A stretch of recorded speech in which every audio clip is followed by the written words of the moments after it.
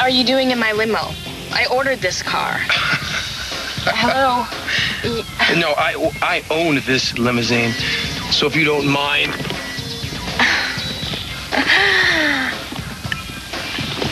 I'm sure that we could work something out to our mutual satisfaction, don't you? My wife's going to be here any minute.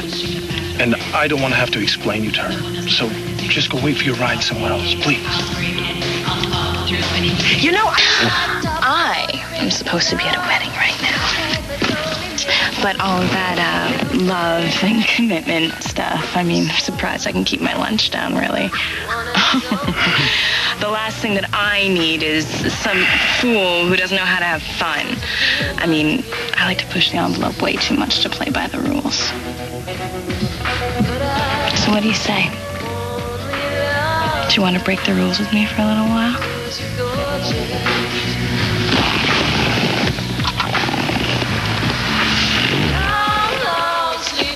Take us somewhere secluded.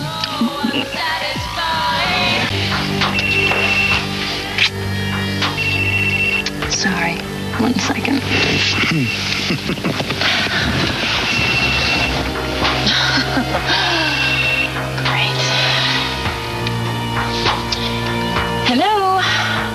ceremony's about to start. You still at the hospital? No, no, I'm on my way to Nora's right now. You sound a little strange. Dr. Miller find something wrong?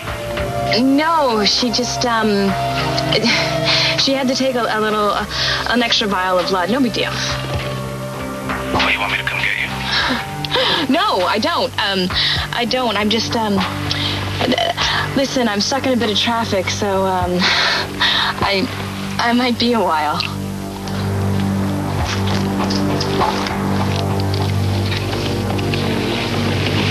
come so far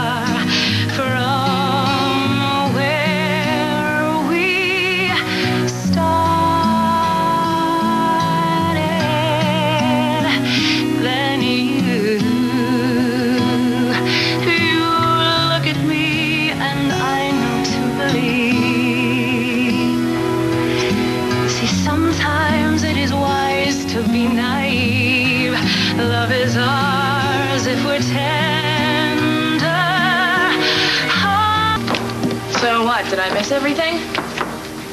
Uh, I'll give you a play-by-play later. How you feeling? Great. Great. After all those tests at the hospital? Oh, that. Um, I'm just glad that that's over. Right. Okay. Um, I told your mom what was going on. What? Oh, God, I don't want to deal with her right now. Can we just go? Uh, she's worried, Jess. I think you might want to talk to her, let her know you're all right. No, I can't talk to my mother right now, okay, Antonio? Listen, sorry, I didn't have to eat earlier. I must be a bit tired or something. You said you were great. Jesse, honey, how are you? I'm great. I'm great. I just went for a few tests, you know, nothing major at all. That's why I didn't tell you about it. The last thing I wanted to do was upset you. Are you okay? Fine. Guess, guess I'm just a little bit hungry. I'll get you all. something to eat. No, I'm fine. I can get it myself.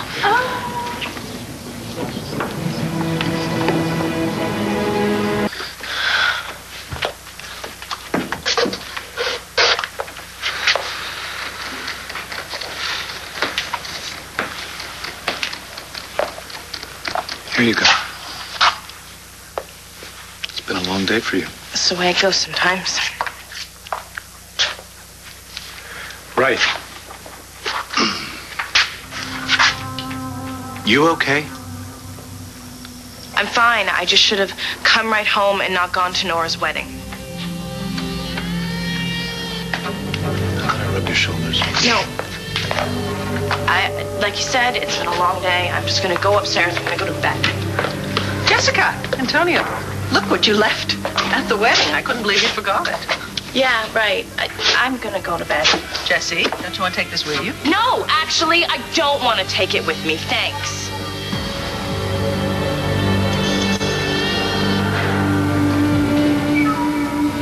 Here, Jessica, what on earth is the matter with you?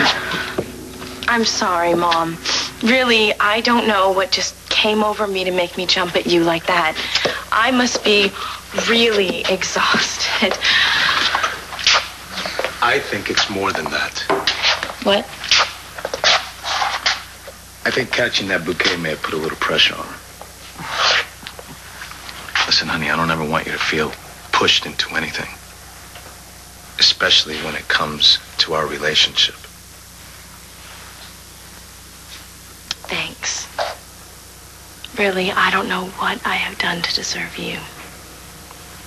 Why don't I, uh, why don't I throw these away if they're bothering you? No, no, please. I'm gonna take them upstairs and I'm gonna put them in some water.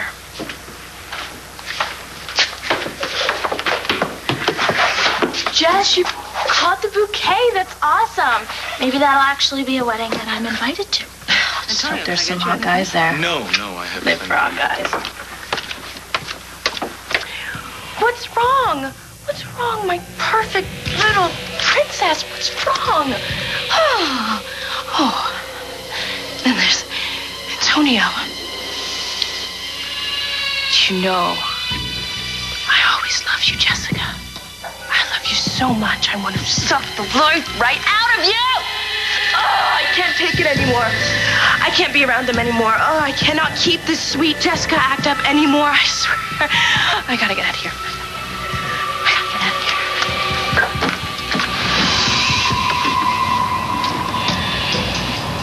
That's a long way down.